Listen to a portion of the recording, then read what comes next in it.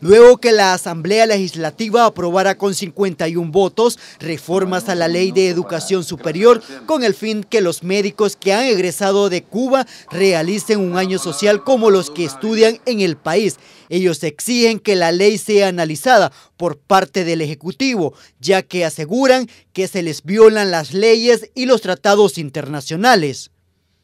Actuar con tanta premura impide un, todo un proceso de, análisis, ¿verdad? Esto al pasar con dispensa de trámite no pasó ni por la Comisión de Salud, ni por la Comisión de Educación, ni por ninguna otra, otra instancia, ¿verdad? Son más de 300 plazas remuneradas en el área de medicina, a los que se sometieron más de 900 profesionales, de los cuales hay buenas calificaciones obtenidas por médicos formados en universidades locales.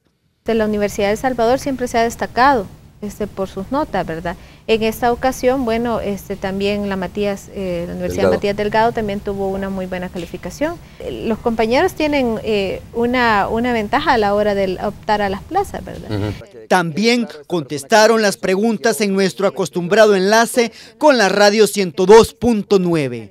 De lo que se les critica es de una falta de experiencia y de conocimientos.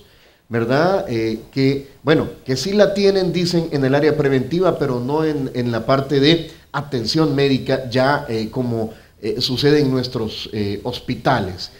Está preparado para atender cualquier situación de salud. Lo que varía de un país a otro es las normativas con las que se trata. Eso depende de los recursos que tenga el país, de disponibilidad de medicamentos, de disponibilidad de todo lo que tiene que ver el área organizativa.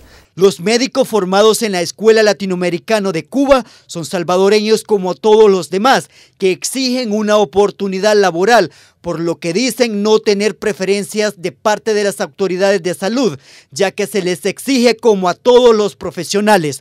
Danilo González, Noticiero Hechos.